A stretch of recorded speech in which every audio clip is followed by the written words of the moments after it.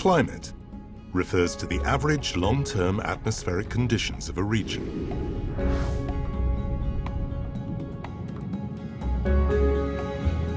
Climate varies across the world, producing distinct climate zones. There are many factors that create these differences. Latitude, location north or south of the equator, plays a major role in influencing climate.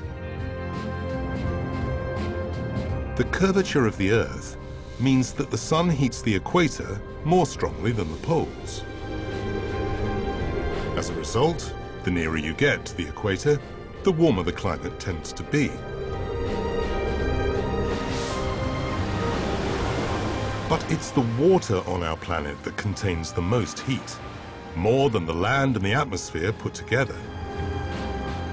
Covering over 70% of the Earth's surface, water absorbs the sun's heat and stores it effectively.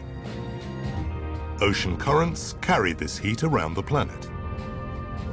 The Gulf Stream carries the heat of a million power stations to northern Europe. Without it, the climate would change dramatically, becoming much colder.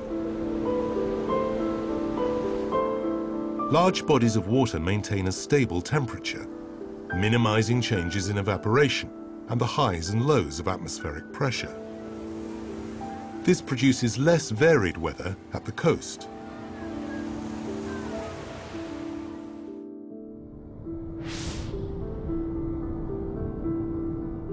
Air rises vertically at the equator, starting a cycle that produces six giant global wind cells.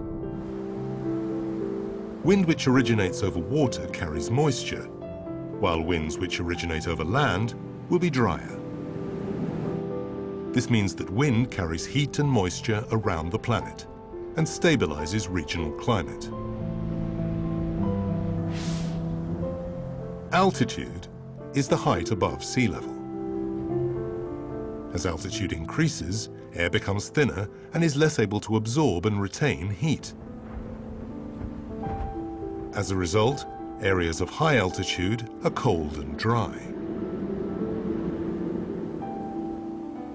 Most of the influences on climate are natural. But humans can affect climate too. We do this by diverting natural water flows and impacting upon the Earth's atmosphere. These complex natural and man-made factors influence long-term regional atmospheric conditions, creating the distinct climate zones that characterize our planet.